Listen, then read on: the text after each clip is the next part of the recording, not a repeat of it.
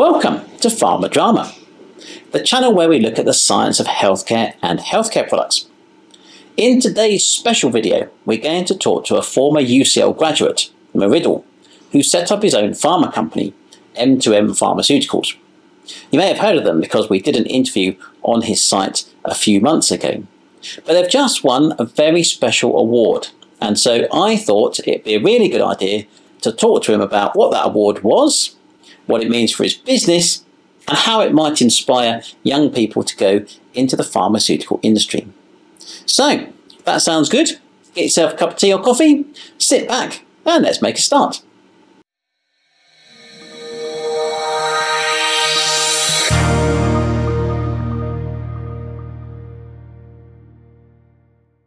Mridul, welcome back to the School of Pharmacy. Um, we did a previous video where you talked us through setting up a pharma company, and in particular your experience and what it was like having done an MSc and that helping you build up your own pharma company. But you just had some really good news that you won the King's Award for Enterprise International Trade. So I thought it'd be a really good idea to have a conversation about what that means for you and your business and how you got there, and to try and inspire younger people that want to set up their own uh, businesses. Hope that'll be okay. So, with that in mind, just tell us briefly about um, M2M and the company you set up. Thank you for having me again. Um, it's real privilege to be here again, um, sitting down with you and have a have a conversation over coffee. Um, yeah, it's an as you mentioned, um, it's an amazing journey we have been going through, and we have just been recently been recognized, um, which is like a ice on the cake, um, and we all are enjoying. Um, uh, hence, I'm here today mm. to, to to talk more about it. That's very good. So, first off, tell us a little bit about what the award is and why it was awarded. It is the King's Award for Enterprise. Every year, King's Award Office um, which actually it has been approved by the palace uh, under the recommendation of different departments and then it goes to Downing Street who gives the final approval and then final signature from the palace. And it is a very very competitive um, award mm -hmm. uh, we were very lucky to have this one uh, within eight years of our operation. Uh, and you know we are a we are a thriving company but we are still small. If you compare, we are only seven of us, um, uh, and a lot of credit goes to the people who work behind the scene to achieve this. Um, and you you would know this is the most prestigious award in the UK. So mm. so we are really really happy. Yeah, that is really good. So the award is for international trade. So just tell us a little bit about where do you trade? So we trade all over the world. Mm, but if you want to fine tune it, um, of course UK is there, but that's national. Internationally, mainland Europe, uh, USA, mm -hmm. uh, Asian countries. We haven't done anything for South American countries, Australia, New Zealand, and, and Middle East yet, but those areas are growing. Mm. So we do have an intention to explore ourselves into those international markets. Yeah, also it gives room for your company to grow, doesn't it? Because you've got markets that you've not tapped into yet. Absolutely. Yeah. What's the difference between, say, the Far East um, pharmaceutical market compared with the North American market? All are growing. Um, it's easier to do North American market because because you know we are in CROs. So the concept of CRO establishment, the financial terms, the appreciation is well established. So it is relatively easier, um, but we have got Asian clients as well, and, and we enjoy working with the clients all over the place. Um, and we are a problem-solving company, mm. uh, and and you know dynamically a problem will always exist. If you know how to solve, you always have got a business to do it. Yeah, absolutely. Okay, so M2M has been growing amazingly over the last eight years, and that is down to you, obviously, but it's also down to the people that you work with. So just tell us a little bit about the people you work with. It's more of a 99.9% is people I work with. you have you've, you've shortened yourself to just 0.1% now. Maybe less than that. Hmm. Hmm. It's, it's that it. Uh, I always say like M2, the company, the founder of the company is only as good as the team. Uh, so therefore, the full credit goes to the team. They they they work tremendously hard, and especially when it is a very small company, you have to work unconditionally. Uh, uh, that that is key.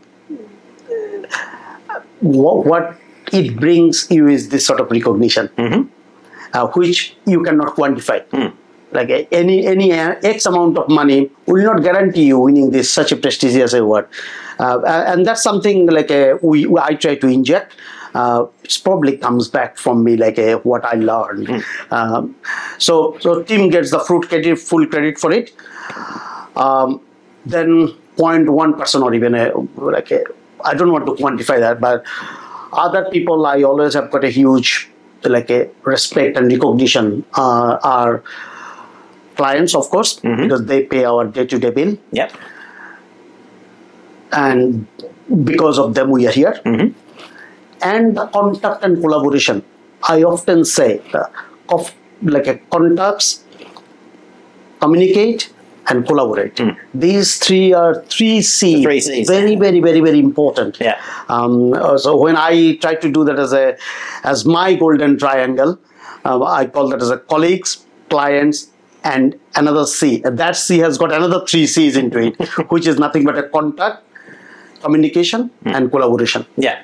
Good. And I must say, I am blessed that my my contact, communication, and collaboration. I'm immensely proud. Hmm. Uh, because you were here as a student many years ago, and yet we're still interacting today, aren't we? That's probably 20 years later. So, how has interacting with universities helped you grow your business? tremendously. Like as I say, like a three says, uh, I started here 22 years ago. And if you ask me what has been constant in your life last 22 years, is my relationship with the UCL. Hmm. Um, and I studied here. Then, as you know, I used to work for Pharmaterials, which was a spin-out company from this place by Professor Graham Buckton. And I owe a more than a thank you to Graham and Pharmaterials uh, for giving me the job to to work, and then also the freedom to explore ourselves w- with the with the synergistic atmosphere, um, which has been a, like a long-term um, injection at UCL. Uh, I think we were embedded with all those like a good qualities uh, here, and that that helped me personally to develop where where I am, uh, and I try to inject those like positive vibe into my team, and hope hope it works. Yeah, no, it clearly does work. I also should say at this point that I'm here because of Graham Buckton as well, aren't I? Because uh, he gave me a postdoc many years ago, so that's good. Um, so clearly, you you do experiments here, and you um, you come and um, use some of our equipment, and in return, we come and use some of your equipment, which is excellent. But also, some of our students come and work for you, and I think you've taken on some of our students as uh, members of staff as well. So. What sort of advice would you give for uh, someone that's just finishing a degree or an MSc somewhere and they're thinking about going and setting up their own pharmaceutical company? Would they be better off getting some experience in a small company? Should they go and work for Glaxo or Pfizer? Or should they just take the plunge and set up their own company? Uh, One can, um, of course, I would go for experience because that's what I did. So I worked for Pharmaterials for 12 years. So that experience was absolutely needed uh, and it helped me significantly, no doubt about it. Um, and, and I'm sure experience helps anybody. Whatever you do, though, the key component is you need to be prepared to work hard. There is no substitution in, into this word. Um, and then experience will come and help you. Uh, and and be keep keep good contacts. Try to build good contacts um, uh, and be communicative with the people um, so that one day you will get your client onto that. Uh, that's what I would say if, if anyone, uh, fresh graduates, want to set up their own company. Okay, good advice. And here's a question that students ask me all the time Do you need a PhD to be successful in the pharmaceutical industry? No, not at all. Yeah. You can, what would you recommend? A degree, undergraduate degree, master's degree? Any education helps. Yeah. any education helps. There is no doubt about it. I'm not against a PhD. I myself did a PhD. You Yeah. did a PhD. Um, but it's more of a it's more of a attitude, which is a positive attitude, which only takes you from A to B. Yeah. The education knowledge helps you and the positive attitudes of working hard uh, being there at the right time at the right place mean, see there are right people all around the world there are also right places hmm. unless and until you show an attitude to reach out to hmm. them Yeah. you never you will never reach there Yeah, there's pros and cons to both here, isn't there? Because you can go to university and do a PhD, for instance, and you'd learn a lot of skills and get to know people. But at the same time, you can go and work in industry and you learn a lot of skills and get to know people. There's no right or wrong way, is there? And everybody's career journey is different. So I guess the key, the key um, learning point there is, as you say, it's about endeavour and applying yourself and working hard, right? working hard be positive Yeah. Okay. Um, what next for M2M? You've got this shiny award. What is it going to mean for you and your company? Um, it means a lot. Uh, like uh, as I said, um, I, I don't think we one can quantify. However, we will be using this as our marketing tool. Because That's what the award is for. Mm, So that so that British government want to say a British company is thriving in world stage. Yep. And that's what M2M Pharmaceutical will be doing for next 10 years. We can use the logo. You have seen the very nice logo. We can use this logo for next five years.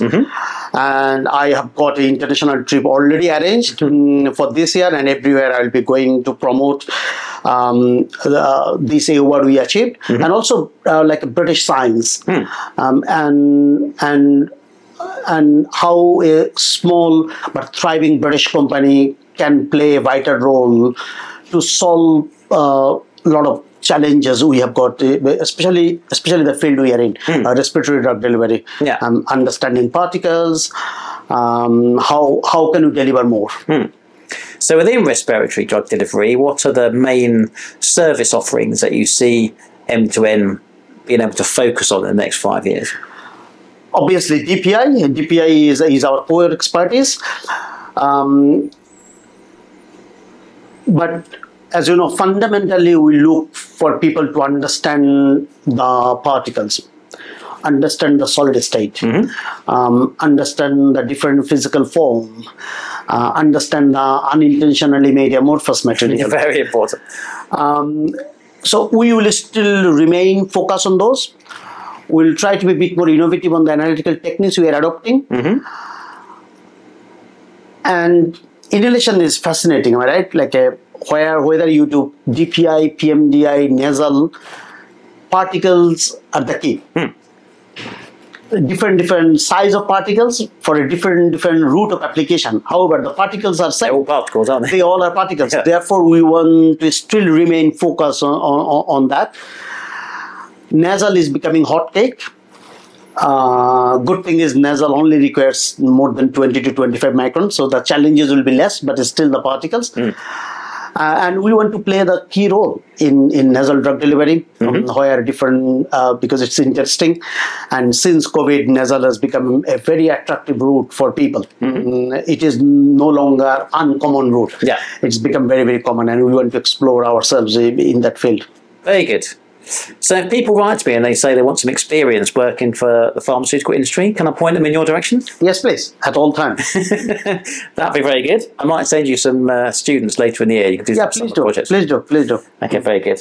Right, in that instance, thank you very much for coming in. It's amazing to hear the company's success. I remember when it was just you and a very small broom cupboard.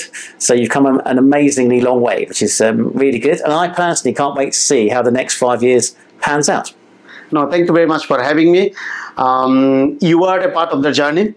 Um, I I cannot say thank you enough for donating Watson's uh, time machine to start with. If you remember those days. Oh, I remember those days. Uh, and I still remember all the critical questions you asked me when you heard that I designed uh, without having a job mm, lined up, without having anything lined up. Yeah, Uh, pretty brave. And from there to eight years down the line, I've got so many people to thank, like uh, yourself, Gareth, Asma, Alex Cloud, um, uh, like now Mary, Soma, Satinder. I can name hundreds of people at the School of Pharmacy who, Yeah. who has tremendously helped me for uh, like over last eight years or so. Hmm. Well, that is very good. Thank you very much, Mridul. Thank you for having me.